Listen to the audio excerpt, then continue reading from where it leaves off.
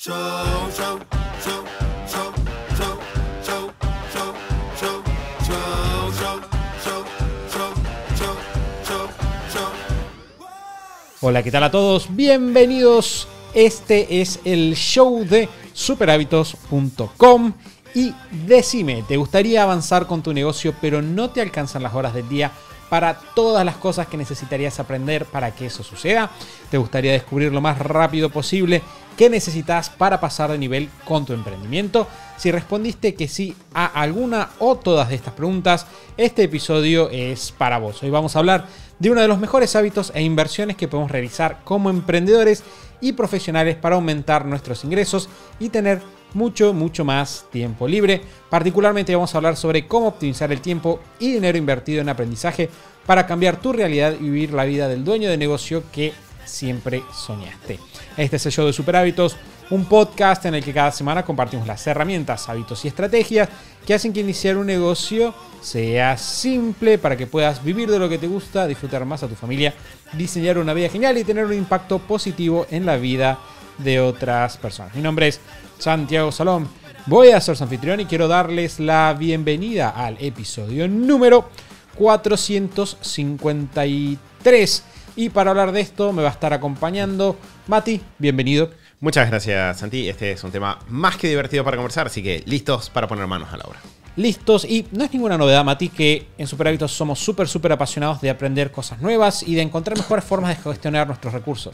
El otro día estaba conversando con alguien y me decía, ¿tenés esa idea de que todo puede ser mejor siempre? Y yo pensé, obvio que sí, todo puede ser siempre mejor. No significa que siempre vamos a ir atrás de eso, pero nosotros tenemos la convicción de que siempre puedes aprender un poquito más y quizás encontrar formas más rápidas, más eficientes de llegar a esos resultados que tanto te gustaría alcanzar. Y si hay algo que hemos hecho nosotros también durante todo este tiempo es invertir mucho dinero en capacitaciones y nunca fue una mala inversión y vamos a hablar un poquito de cómo logramos administrar eso. Quizás podemos traer ejemplos y creo que vamos a hacerlo. Traer ejemplos de inversiones que hicimos al comienzo de la historia de Super Hábitos, inversiones que estamos haciendo ahora en términos de aprendizaje y cómo ustedes pueden extraer lecciones que les sirvan para tomar acción, para dar el paso necesario para empezar a invertir en estas cosas. Bien, Santi, ¿listo para comenzar? Vamos. Bien, como para meternos un poco en el tema, creo que lo que vos dijiste, Santi, recién es probablemente el, el mejor puntapié inicial y es, ¿por qué preocuparnos por esto? ¿No? ¿Cuál, es, ¿Cuál es el motivo por el cual esta conversación tiene sentido? Y creo que lo que vos dijiste es el punto fundamental. Es empezar a ver el aprendizaje no como, no, no sé cómo decirlo, no como un hobby quizás, no como algo secundario en nuestra vida, sino como una inversión que nosotros podemos realizar para obtener mejores resultados. Sí, sea que, y acá cuando hablemos de aprendizaje ya nos vamos a meter un poco en cómo elegir entre todos los diferentes medios, cómo elegir entre todas las opciones de aprendizaje que hay, porque hay un montón. Pero básicamente de lo que estamos hablando es cuando yo invierto tiempo en adquirir conocimiento que me permite resolver problemas. De eso vamos a estar hablando ahora, que me permite tener una nueva habilidad, que me permite atacar una situación desde un ángulo diferente. Y creo que todas las personas quizás tienen alguna experiencia, voy a decir, limitada con esta idea, ¿no? Es, no, no es una idea extraña o no es una idea con la cual las personas se escandalicen si yo digo, por ejemplo, que una persona que, no sé, que una persona vaya a la escuela es bueno para la vida de esa persona. Por entonces, claro, esa persona después va a tener muchas más posibilidades, va a poder hacer muchas más cosas.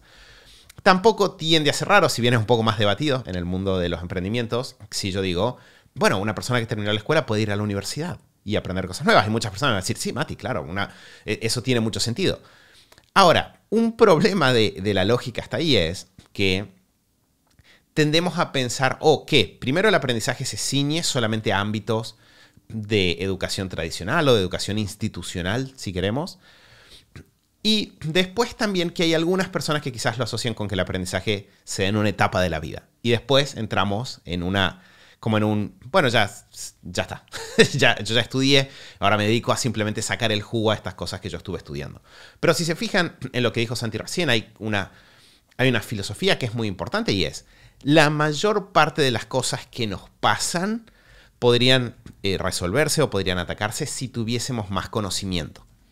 Si yo entendiese mejor lo que está pasando acá, si yo tuviese más herramientas para resolverlo. Eso pasa en el negocio, es bastante, no sé si yo sé vender mejor, voy a tener más ventas. Si yo sé gestionar mejor un equipo, voy a obtener mejores resultados ahí. Si yo, no sé, sé cuidar mejor mi salud, voy a tener periodos de trabajo con más energía.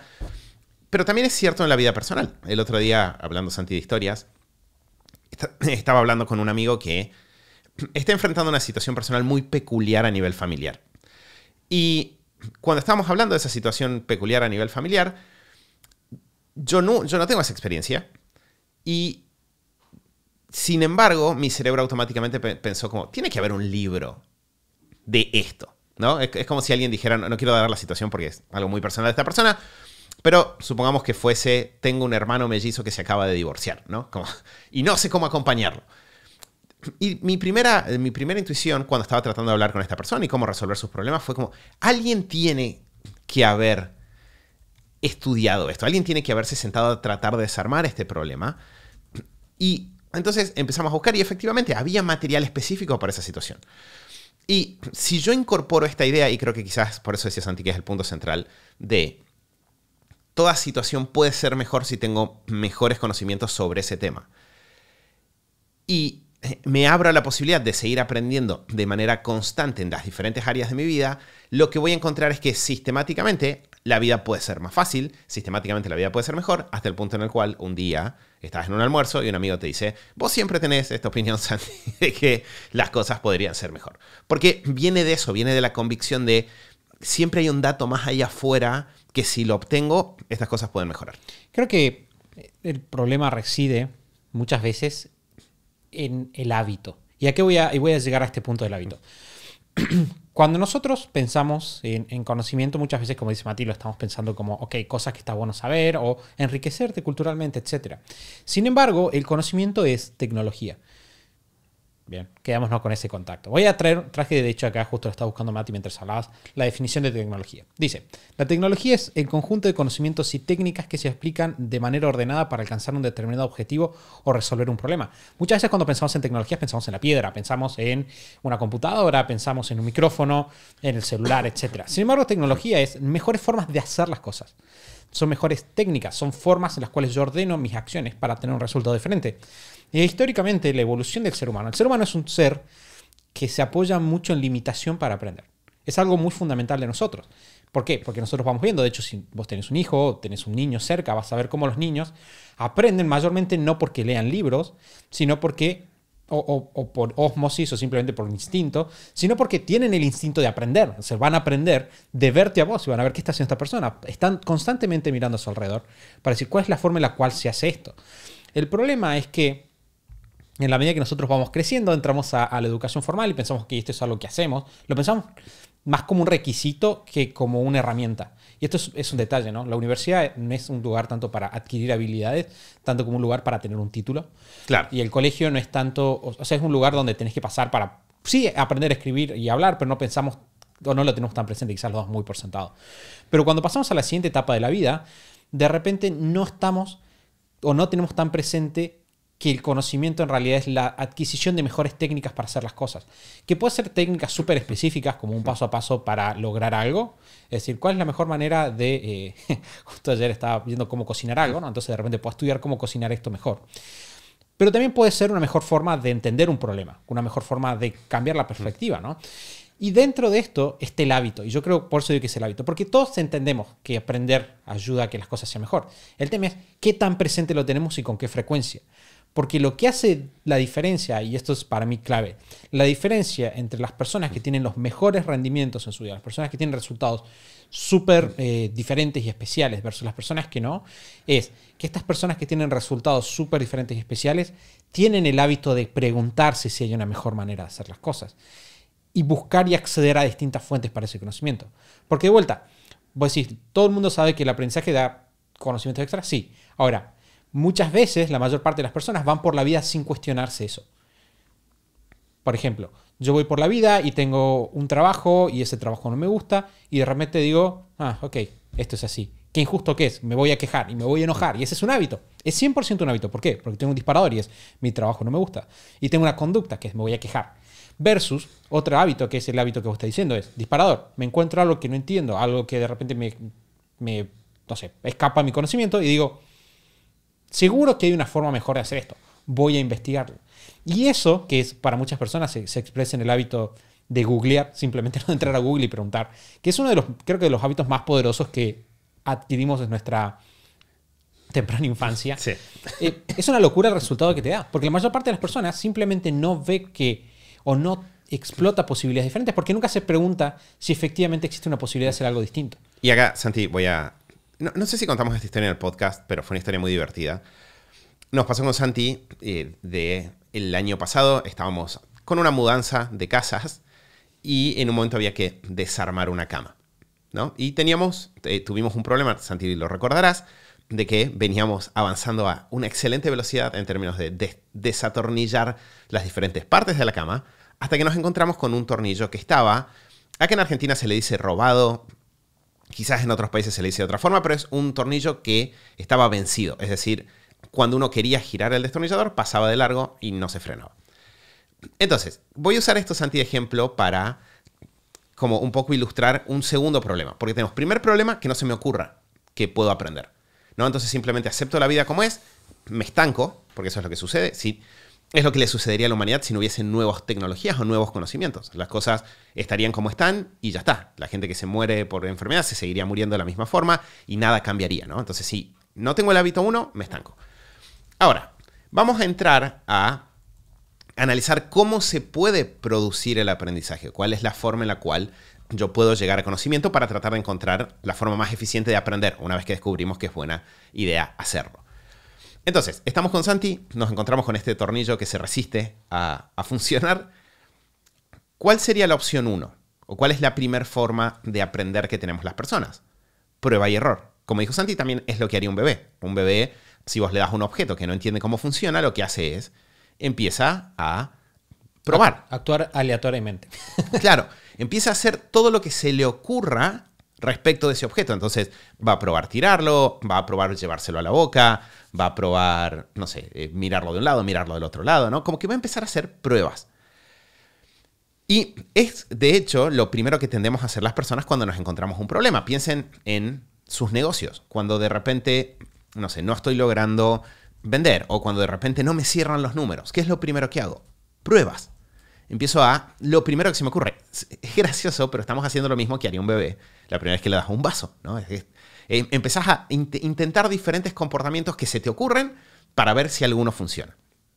Fue lo que hicimos nosotros con el tornillo. ¿Cuál es el problema que tiene esa conducta? Esa es una conducta que tiende a ser muy poco eficiente. Es una conducta que tiende a tomar mucho tiempo porque tengo que probar muchísimas cosas hasta lograr llegar a la respuesta. Y de hecho, tengo una limitación que es, si no, o sea, puede pasar que me pase de vuelta muchas horas, muchos días, hasta que se me ocurra, si es que se me ocurre, ¿no? Porque dependiendo de mi perfil, mi creatividad o lo que sea, hay algunos problemas con los cuales la idea puede simplemente no aparecer en nuestro cerebro.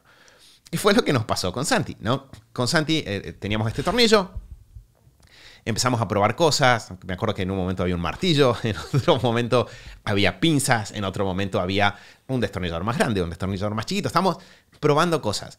Hasta que en algún momento, creo que fue Santi, hizo, eh, funcionó de voz de la razón y dijo, alguien tiene que tener la respuesta a esto.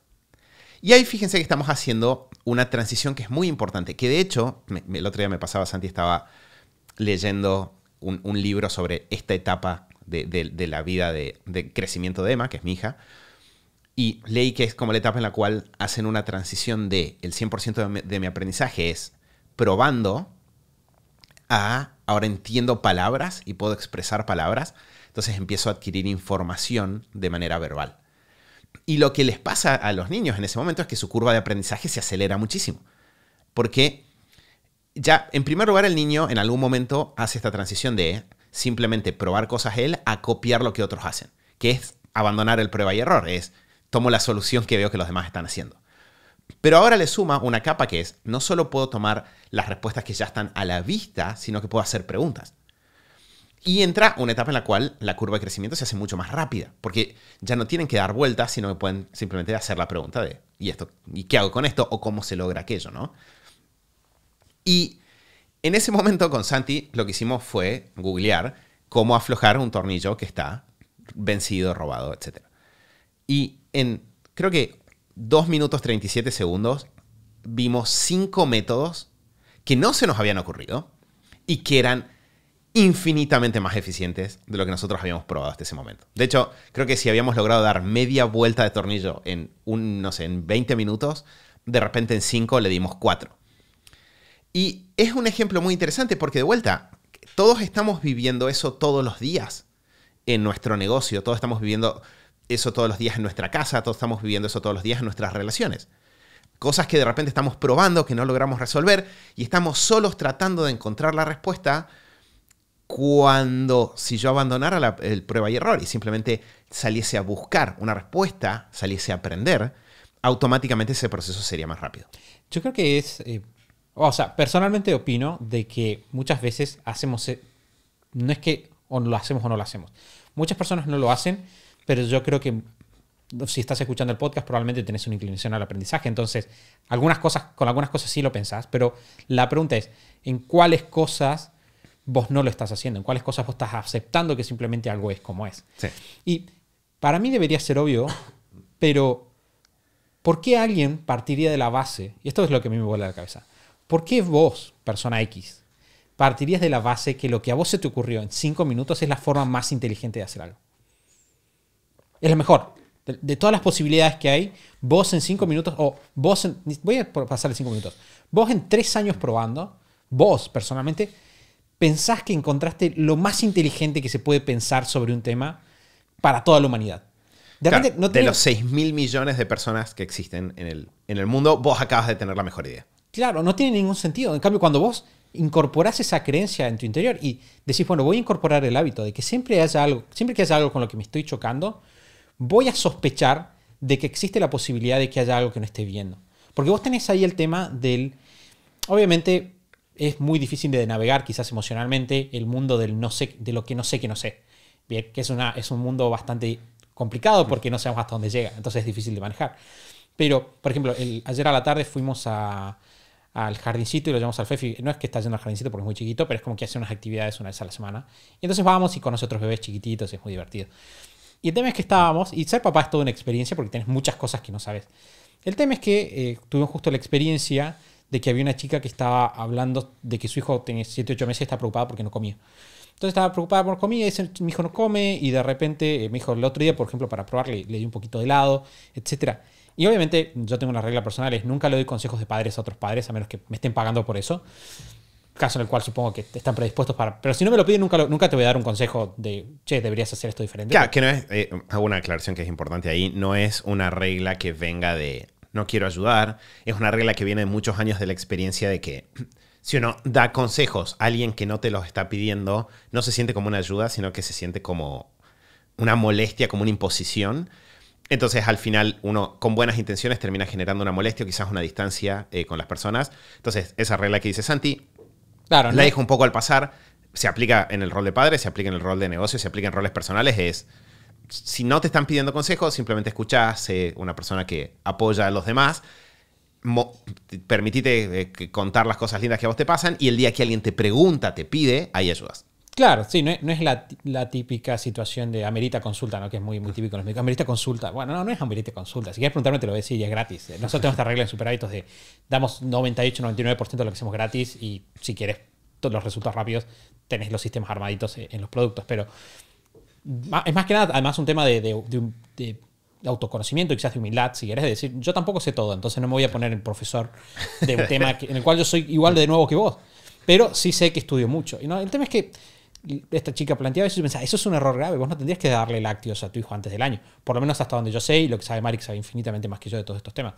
Obviamente no le dije nada, pero cuando iba en el auto volviendo a casa, lo que conversaba con Mari, le decía, ¿cómo? O sea, es una experiencia interesante porque esta chica está decía, yo le decía a Mari, es que es muy difícil manejar el hecho de ser papá porque decís, bueno, ¿cómo vos no querés cometer errores graves? No querés cometer grandes errores. Y en la vida yo creo que nadie quiere cometer estos grandes errores.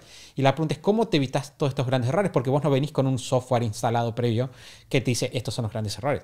Y yo decía, si yo fuera esta chica, ¿no? Esta chica, ¿cómo podría haber salido del...? Porque ella no sabe que no sabe eso. ¿Cómo podría haber salido del, que no sé que no sé? Y en realidad, yo le decía a Mary, quizás la técnica con la cual vos podés escapar del no sé que no sé es tener eh, una curiosidad y un deseo o sea, tener esta conciencia del no conocimiento y tener una curiosidad constante, porque muchas personas de esa habitación sí sabían y no le dijeron. Y la pregunta es cómo ella se puede dar cuenta. Y yo creo que si ella hubiera llegado, hubiera charlado y hubiera estado quizás más atenta a preguntar un poco más, eventualmente alguien se lo habría dicho. Entonces, ¿cómo escapamos de este gran tema del no sé que no sé? Bueno, quizás mantiene esta actividad curiosa, a partir de la base de que hay alguien que quizás lo puede saber más que vos. Y de vuelta pasar al hábito directo de, en cuanto me encuentro un problema, en cuanto estoy trabado, voy a decir, probablemente hay una mejor manera de hacer esto, probablemente alguien lo sabe, entonces voy a salir a preguntar. Y muchas veces es simplemente salir a la casa de lo general. Y cuando ya sé, que este es el siguiente nivel Mati que me parece que es importante hablar, es cuando ya sé que hay algo que no sé, darle el valor necesario a ese conocimiento. Porque muchas personas saben que tienen que aprender algo, pero no entienden el valor real de invertir en educación. Nosotros, de hecho, la historia de Super Hábitos empieza con, con tu inversión Sí. eh, en un curso que era, no sé cuántos sueldos era que te gastaste. en- Era un sueldo en ese momento. era, te gastaste un sueldo Sí. cuando medio Eh, caído fue- de la termina- nada. terminaron siendo dos o tres sueldos porque después como que en- como que eh, eh, eh, hicimos un par de mejoras sobre ese curso, pero sí. Pero bueno, el, punto es el siguiente. Muchas personas, una vez que dicen, ok, tengo el conocimiento, o tengo que salir a averiguar algo, o probablemente alguien sabría hacerlo, una vez que llegan a esa etapa, van a ver las opciones gratis o las opciones que están a mano y no valoran el poder de la inversión en educación como elemento de optimización. Y esto viene de esto que siempre hablamos y sale constantemente en el podcast, que es esta idea de que el tiempo tiene un valor.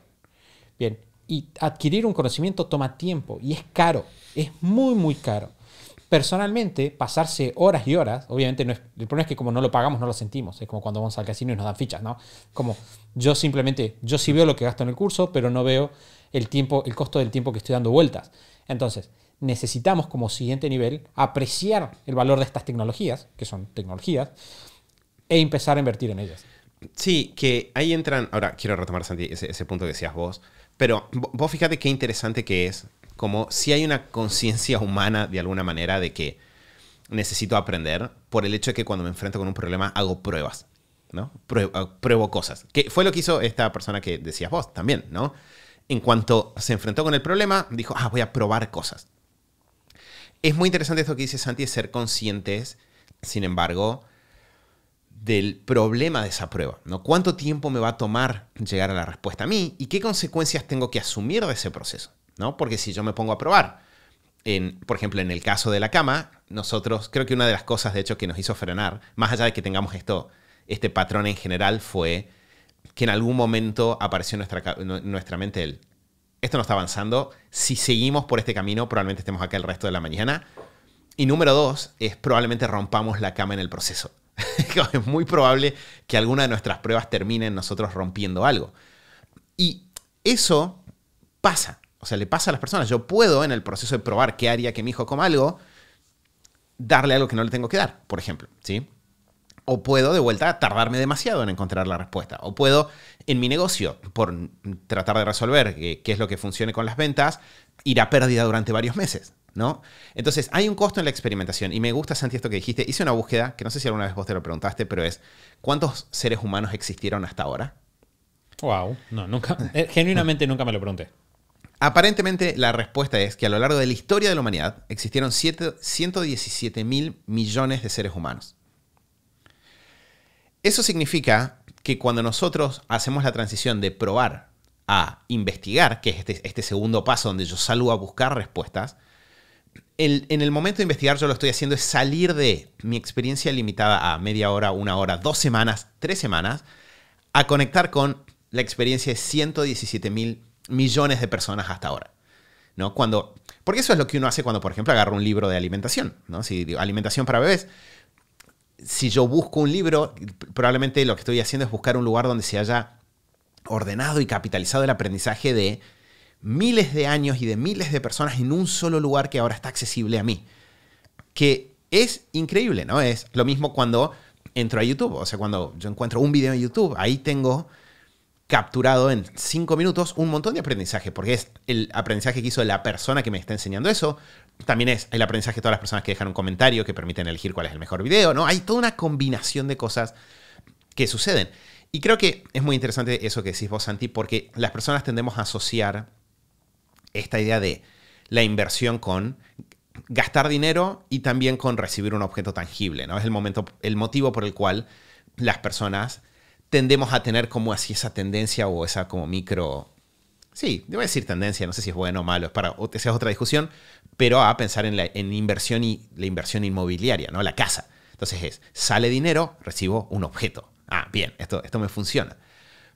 Pero en realidad, si lo pensamos, esta, este, este mecanismo es una forma increíble de dar saltos cuánticos a nuestra vida. Yo puedo resolver cosas que hubiese resuelto solo en años, de repente en una semana. Y esos años tienen un valor en el mundo actual porque son horas en las que yo puedo trabajar. Es un negocio que puedo iniciar, son ventas que puedo realizar.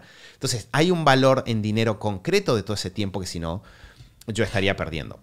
¿Y quería sumar algo ahí? No, creo que simplemente iba a reforzar sobre el hecho de cómo incluso porque tenés distintas formas de, cosas que puedes obtener, ¿no? Vos podés invertir en conocimiento en términos de un paso a paso para hacer algo, pero incluso tenés un gran valor de cambiar la forma en la cual pensás problemas. A mí me vuela la cabeza, esto es algo que, que siempre, siempre me, me motivó y en algún momento me pareció maravilloso, y es que en realidad el mundo está tan lleno de posibilidades. El mundo es tan grande, hay tan, puedes hacer, nunca alcanzarías a hacer todas las cosas que hay para hacer en el mundo. Y el hecho de que vos accedas, en, el caso de la voy a decir, voy a dejar un margen para personas en las cuales probablemente están en situaciones en las que no sucede esto, pero en, en la situación de la gran, gran mayoría de las personas que están escuchando este podcast, que vos puedas llegar a donde vos quieras llegar depende en gran parte de qué decidas vos hacer. Y qué decidas vos hacer depende mucho de cómo vos entendés la situación en la que estás y las acciones. Y para mí eso significa de que en muchos aspectos lo que me impide o lo que está limitándome a mí de llegar a cosas que quiero alcanzar es simplemente la forma en la cual las estoy entendiendo y qué estoy haciendo al respecto. De alguna manera, el otro día lo, charlaba con, con Mari y le decía, es muy loco cómo vivimos dentro de nuestra cabeza y es, tenemos un mundo tan amplio y es como que vivimos dentro de una habitación espejada de 2x2. ¿Nunca te pasó eso? A mí, perdón, este es medio tangente, pero ¿nunca te pasó que quizás estás teniendo un mal día y de repente te sentís atrapado, te, sentís como muy atrapado, sentís como que las posibilidades son pocas, como ah, tengo una o dos opciones. Y de repente en algún momento de claridad te sentás y, y como que abrís un poquito las puertas de tu cubo de 2x2 y me decís, no, para, no tengo dos opciones. Tengo literalmente miles de millones de opciones. Y el conocimiento también sirve para eso, porque vos reinterpretando una situación, puedes pasar a estar en, lugares completamente diferentes. La interpretación de una situación cambia completamente cómo nos sentimos respecto a eso. Y cómo nos sentimos cambia cómo actuamos.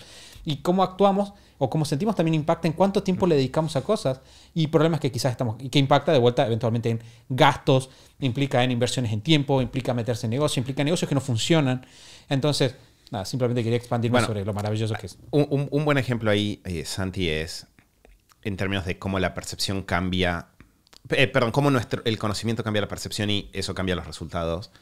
Nos pasó cuando arrancó la pandemia, que fue como una especie de crisis mundial, ¿no? De repente estaba todo el mundo ahí prendido fuego y había una sensación general de, sobre todo en, el, me, diría en el mundo de los negocios, había una sensación de, se viene el colapso, ¿no? Viene, esto es el fin, acá esto, esto es muy, muy malo y va a ser terrible. Y es verdad, o sea, no es mentira que hubo personas afectadas negativamente. Ahora, hay algo que nosotros hace muchos, muchos años leímos que nos, que nos sirvió, que fue esta idea de que los momentos de crisis son una oportunidad, ¿no? Esta, yo de hecho tengo en mi computadora un, fondo de pantalla que cada tanto me aparece, que es una frase atribuida a Walt Disney, no sé si Walt Disney la dijo, ¿no? Pero que es una frase de, eh, escuché que va a haber una recesión, pero decidí no participar. ¿no? Y a nosotros nos, nos sirvió mucho siempre tener ese concepto porque frente a momentos difíciles, si yo veo la situación problemática como una oportunidad, eso, en primer lugar, cambia cómo me siento, porque esta, esta, situación es mala, pero en realidad no es mala para mí, ¿no? Como que uno lo siente, como que, ah, que hay algo que yo puedo obtener de esta situación, porque es una oportunidad. Y eso cambia cómo yo actúo, porque si yo estoy convencido de que en el momento en el cual hay una situación negativa, no hay nada que hacer, automáticamente eso va a afectar cómo opero en las en las semanas siguientes y eso sí va a afectar los resultados, ¿no? Y termina siendo como una especie de profecía de autocumplimiento. Y a nosotros nos pasó como equipo que hicimos una reunión en ese momento y hablamos de, bueno, si hay algo que sabemos de todo el estudio histórico es, siempre que hay momentos así difíciles, los negocios que saben ser, eh, que saben estar atentos a lo que está pasando, que saben de alguna forma reestructurarse para responder a eso, pero que sobre todo se mantienen activos, son los negocios que pasan esas situaciones y que después, cuando hay viento a favor, las cosas vienen y, son muy buenas para, para crecer ahí mucho más rápido, porque en lugar de pararnos y tener que arrancar después, siempre mantuvimos el movimiento. Y es- eso fue clave para nosotros como equipo. Y de vuelta, si se fijan, como dice Santi, no era un paso a paso necesariamente, era más una forma de ver la situación, pero que afecta a los resultados que obtenemos. Y los afecta de una manera muy directa en, en- en- en- ingresos, afecta en emociones, afecta en cómo son nuestros vínculos, afecta en nuestra salud también, porque afecta a nuestro estrés. Entonces, Santi, nos fuimos por una tangente, ahora vuelvo. Nosotros dijimos, toda situación puede ser mejor si yo adquiero mejor conocimiento. Me parece muy buena la aclaración que dice Santi. A veces es conocimiento directamente práctico, a veces es más una cuestión de paradigmas o de cómo vemos la situación. Frente a eso, tenemos una primera acción que es bastante humana, que es eh, probar. Experimentar no está mal, tiene el problema de que es muy costoso en tiempo y en dinero. Paso que sigue es investigar. Que investigar es, me pongo a buscar información. Acá en general esto se va a ver en forma de, busco, por ejemplo, un libro, busco un video en, un video en YouTube, escucho un podcast, eh, me pongo a investigar yo. Y acá, Santi, el- entra como una, creo que la última fase que es, eso está muy bien y trae muy buenos resultados, pero no sigue sin ser la forma más rápida de aprendizaje, que es algo que nosotros a lo largo de los últimos años hemos descubierto y hemos como hecho mucho, mucho hincapié ahí. Porque, ¿cuál es el problema? Cuando yo salgo a investigar, eh, si se fijan en general, a lo que estoy acudiendo es a información que está ordenada, sistematizada, pero que no está conectada con mi situación personal. ¿no? Entonces el video de YouTube no nos mostraba nuestro tornillo, nos mostraba tornillos que esta persona tenía ahí. O nos mostraba no qué hacer con las herramientas que nosotros teníamos en nuestra casa, nos mostraba qué hacer con las herramientas que tenía esta persona. Que de hecho, si recordás, Santi, había como una pieza que se utilizaba en taladros para resolver estos problemas que nosotros no teníamos. Entonces, ahí de repente estamos mucho más adelante, pero queda una brecha, que es la brecha entre ese conocimiento y mi situación particular. Y ahí creo que entra la, la- última, el, el último pasito en términos de, optimizar el aprendizaje, que es el ir a preguntar. Porque cuando yo voy a preguntar, lo que hago es dejo de a- preguntarle a una persona que tiene experiencia en esto o que sabe de este tema, a un experto. Cuando yo le voy a preguntar a esa persona, y cuando digo preguntar me refiero a tener esta posibilidad de interactuar con la persona, por el medio que sea, yo lo que estoy haciendo es resolver esa brecha sin que en esa pequeña brecha yo tenga que entrar en un, proceso de experimentación nuevamente. Y una cosa, yo lo dije en, creo que lo dije de hecho, las últimas dos entrevistas que, que tuvimos en enero. Una de las cosas que a nosotros creo que los últimos años nos ha traído más resultados es el hecho de ser muy conscientes en cada vez que estemos con un problema, tratar de ir a buscar quién tiene la respuesta y preguntar incluso antes de sentarnos a investigar. Porque en la investigación de vuelta tengo mucho tiempo, tengo que consumir mucho contenido, tengo que elegir cuál es el contenido correcto y a partir de elegir cuál es el contenido correcto tengo que hacer la adecuación a mi situación, que es infinitamente más eficiente que el, prueba y error, pero que también es mucho más ineficiente que simplemente recibir la respuesta lista.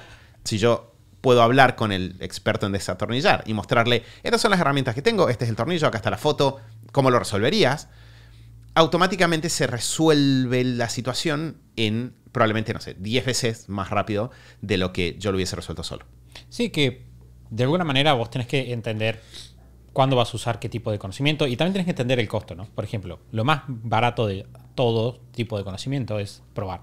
Es gratis, bien, vos te pones y probás y a nadie te va a generalmente perseguir. Tenés el costo, o sea, estoy diciendo en el costo de pago, ¿no? Obviamente tenés el costo de oportunidad, que es el costo de todo lo que podrías estar haciendo en ese tiempo si hubieras invertido en otra cosa. Pero de repente tenés ese costo. Después tenés el costo de investigación, que el costo de investigación generalmente es más bajo.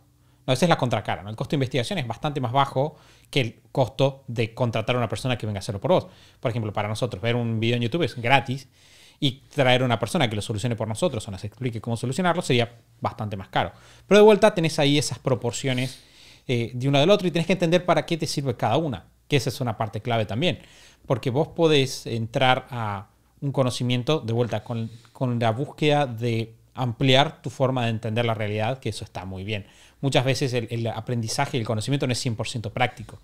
En términos de que necesito de vuelta, necesito comprender un problema. Y muchas veces para mí entran, o sea, personalmente yo ahí accedo a los libros directamente y los podcasts son una opción peor, pero también válida, si me preguntan a mí, para acceder a nociones de cómo se puede pensar un problema en general, ¿no? Como Sí. cuál, o qué hay ahí afuera, que también ese es un punto que es interesante, ¿no? ¿Qué, qué, qué se habla de este tema? Ah, y descubrir, como, ah, mira, existe esto, yo no sabía que existía esto, que puedo tomar de vuelta, puede ser relacionado a lo que yo hago o no, y traerlo a mi kit de herramientas para decir, bueno, acá hay un tema. Ahora, si vos querés tener resultados y tenés que tener un programa muy práctico, que es lo que dice Mati, yo quiero ir por ahí. De hecho, es la- el tipo de distribución que nosotros hacemos en nuestras inversiones en Superhábitos. Yo compro libros, gasto bastante en libros, pero no gasto ni de lejos.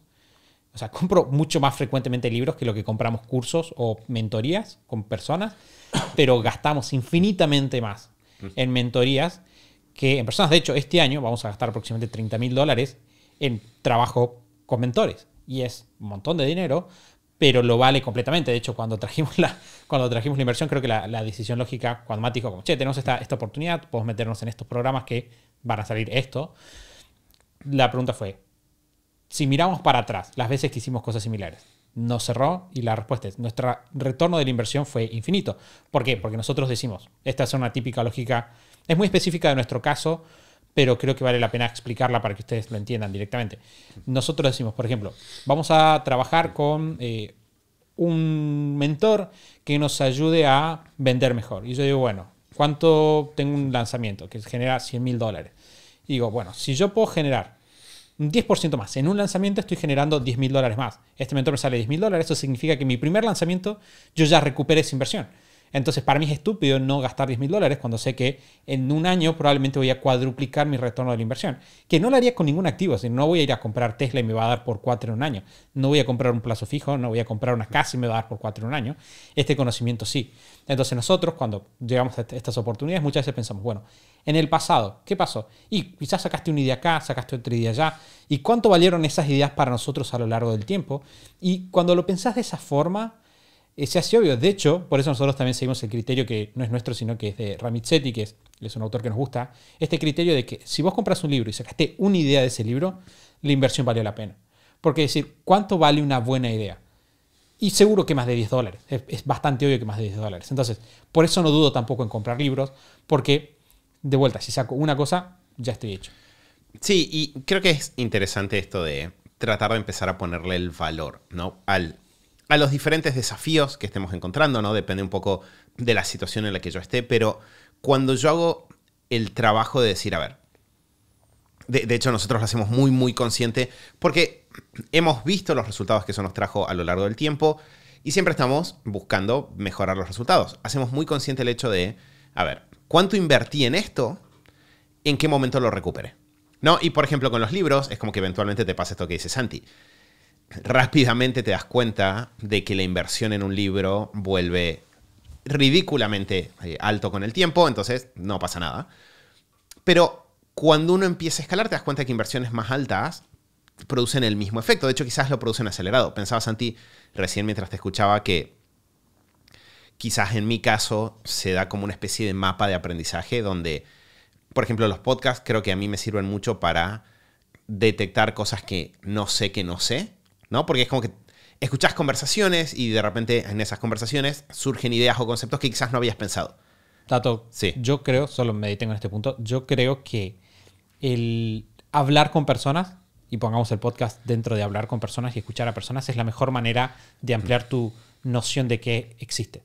Claro, ahí está. Entonces, es eso, es, conversa es verdad, conversaciones con, con personas que a uno lo, inspiren o personas que uno disfrute conversar, tienden a ser una puerta también a cosas que no sabías que no sabías. Escuchar podcast creo que está en esa categoría. De ahí diría la resolución de problemas simples, cotidianos, tienden a resolverse con búsquedas en Internet. Y a- ¿no? Entonces, si necesito, no sé, cómo encontrar la cámara de mi teléfono para desactivar el flash. Bueno, no necesito un consultor en tecnología para responder esa pregunta. En general, esa búsqueda en Google me va a tener buenos resultados. Lo del tornillo se resolvió, de hecho, con la búsqueda también. Es problema operativo chiquito que requiere una respuesta simple con un bajo nivel de personalización y que por lo tanto se resuelve yendo a una búsqueda más directa. Si ponerte a escuchar un podcast para configurar tu teléfono probablemente sería una mala idea. O, no sé, todas las semanas escuchar un podcast sobre cómo se resuelven problemas específicos de arreglos de la casa, también, porque estaría gastando un montón de tiempo en problemas que quizás nunca me encuentre. Ahora, cuando ya empiezo a gestionar problemas complejos que requieren eh, un alto nivel de resolución personalizada, digamos de alguna manera, ahí sí creo que empieza a entrar esta, esta inversión más fuerte, porque son los problemas que sería más costoso resolver solos, ¿no? Son los problemas en los que la experimentación me saldría más caro, son los problemas en los que las pruebas me pueden ser más costosas en tiempo y en dinero. Ahí tiende a entrar este, este, este set aparte, que si te fijas, Santi, nosotros casi nunca, tipo, y esto creo que debe ser menos del 3% de las veces, usamos el formato del curso grabado que no tiene soporte. O sea, es muy, muy raro que usemos, es rarísimo, de hecho, en general, porque en ese caso creo que nosotros preferimos leer, entonces vamos a ir a un libro, ¿no? O sea, si, si es información sin interacción, dame el libro y ya con eso lo resuelvo. De, de hecho, creo que los únicos casos donde quizás lo hacemos es si no hay un libro de ese tema. Sí, imagino. muchas veces pasa que, que los- como que en un curso vas a tener información más nueva porque primero, o sea, es como que llegan, llegan los consultores en términos de nuevas cosas, ¿no? de nuevas tecnologías. Claro. Después llegan los cursos, después llegan los- la- las clases más avanzadas y después llegan los libros. Entonces, por ejemplo, si estás estudiando inteligencia artificial, eh, probablemente no vas a poder leer un libro porque no hay. Sí, y los que hay. Y cuando llegue va a ser viejo. Claro, y cuando llegue va a ser viejo, es verdad. ¿Qué pasó lo mismo con sitios web en su, en su época, cuando estábamos aprendiendo esa, esa parte? O marketing digital. O marketing digital, claro. Y de ahí, en general, nos queda este segmento de, ya sí, trabajo en cursos o programas más avanzados. Y en general ahí lo que hacemos es buscamos o programas que tengan un alto nivel de trabajo ahí eh, cercano, de manera tal de poder resolver los problemas de vuelta con muchas preguntas. O si no, simplemente ese programa tiende a ser un escaloncito para descubrir con quién necesitamos trabajar. Tiende a ser un escaloncito como, ah, tipo, voy a, voy a probar a, estas, a las diferentes opciones que tengo para ver cuál es la persona correcta con la cual trabajar este desafío específico. Sí, que de hecho, perdón, termino. No, no, eh, entonces pensaba como que nuestro mapa de aprendizaje probablemente hoy en día se compone así. Los libros creo que entran en el rol de... Estoy, tratando de pensar cuál es el lugar que ocupan los libros, que es distinto en tu caso que en mi caso. En mi caso creo que entra cuando tengo que enfrentar un desafío que es complejo en términos de- de- del tamaño y que al, al cual estoy entrando por primera vez. Entonces, la primera vez que entré a leer sobre negocios, o la primera vez que entré a leer sobre marketing, o la primera vez que entré a leer sobre paternidad, me sirve buscar como un libro pilar fuerte. Y una vez que ese libro me da la terminología, las palabras, la lógica de ese tema, ya empiezo a moverme con estos otros recursos que dije recién. Sí, los libros son para los principios.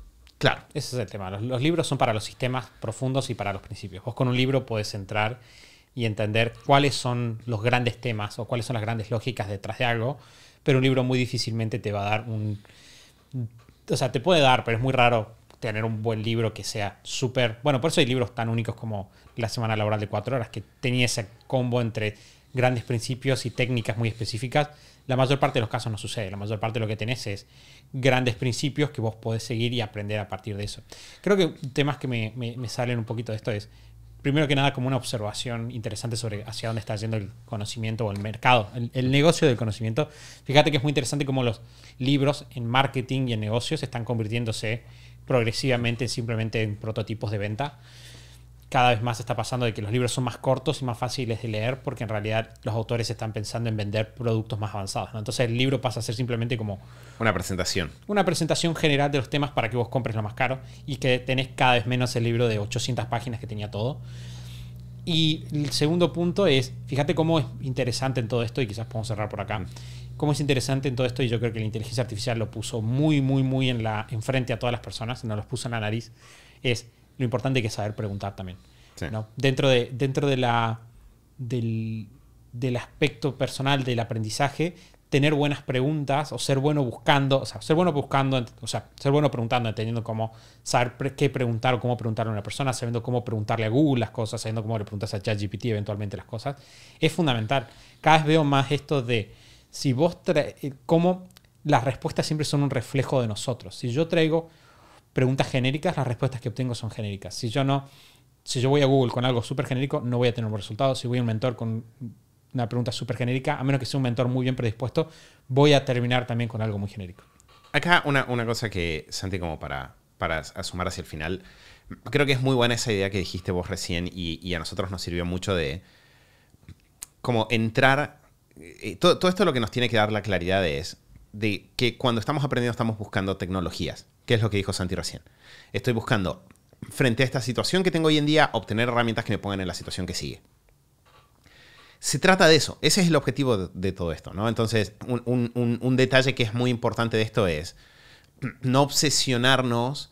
O sea, si, si yo tengo esta, esta, esta lógica de tecnología y sigo, no me obsesiono con el formato en sí, ni, ni cuando es un libro de decir, tengo que seguir leyendo este libro hasta el final porque ya lo compré, ni cuando, no sé, estoy en un programa online de tengo que ver todo de punta a punta, si no, esto no lo valió. Que esa es otra cosa que también le pasa mucho a las personas.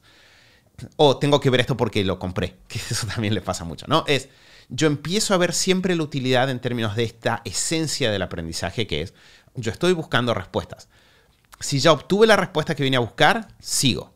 Si hay una forma más eficiente de encontrar esta respuesta que me resulte, que a mí me cierre en base a lo que vale mi hora, en base a, mis necesidades actuales, voy para ahí. ¿no? Entonces, si empecé a leer un libro y a la mitad del libro encontré que había un experto con el que podía hablar, eso, eso nosotros lo hicimos muchísimo con, con Lu en, en el- en ese proceso, ¿no? Es, empiezo a leer libros de maternidad, de paternidad, en el medio descubro un experto. Contrato al experto. El experto empieza a responderme las preguntas a una velocidad ridículamente más alta que la que podría responder cualquier investigación. Me relajo, ya está, no importa si compré el libro y llegué hasta la página 50 de 300. Porque el libro ya cumplió su rol, que es lo que Santi decía recién. Yo ya obtuve lo que iba a buscar ahí, que era que este libro estaba ocupando el rol de introducirme al tema y darme las herramientas para buscar lo que sigue. Entonces creo que quizás Santi como una, una, una buena idea para, para cerrar el episodio es que está bueno esto de empezar a poner las herramientas y cada uno tener como su mapita de aprendizaje y tener claro siempre qué estoy buscando y para qué lo estoy haciendo. ¿sí? Porque el aprendizaje es esta herramienta brutal, tremenda de salto en los resultados. Pero ese salto se da cuando yo tengo claro qué resultado estoy buscando. Entonces, no es nunca es el aprendizaje por el aprendizaje, siempre es el aprendizaje para algo. Y esa es la clave para optimizar el sistema. Bueno, estuvimos hablando un poquito sobre cómo pensar inversiones en aprendizaje, cómo pensar las distintas eh, formas de aprender y, y en qué lugar ocupan en nuestro día a día. Esperamos que se hayan llevado muchísimas cosas prácticas, pero también antes de irse queremos que se lleven eh, un recordatorio. Y es que además del podcast tenemos dentro eh, de nuestra lista de mail el mate de los jueves, que es un mail exclusivo para la comunidad en el que sale todos los jueves, como dije recién, y que contiene tres secciones súper interesantes. La primera es una alegría, donde compartimos novedades útiles de la comunidad, que de vuelta también desprenden de experiencias de otros, ¿no? Si aprendemos por imitación, esto es súper útil. Un truco que es alguna herramienta tipo consejo traído de uno de los miembros del equipo. Y finalmente una experiencia, es una reflexión que Mati nos comparte todas las semanas, que tiene el objetivo de aportar nuevos conocimientos para ustedes. De vuelta, están contemplados los distintos mecanismos de aprendizaje dentro de este mate de los jueves. ¿Cómo pueden acceder? Tienen que ir a superhábitos.com barra kit, superhábitos.com barra KIT. Ahí van a poder dejar su mail, van a poder acceder a todas nuestras guías gratuitas, que son un montón, y además van a empezar a recibir recordatorios del podcast y recordatorios del mate. de los- No, no van a recibir el recordatorio del mate de los jueves, van a recibir el mate de los jueves en sí. Todos los jueves, cortesía de Super Hábitos. Bueno, ¿estamos, Mati? Estamos. Bueno, muchas gracias por habernos acompañado y nos vamos a estar viendo la semana que viene en el episodio 454 del show de Super Hábitos. Chau, chau.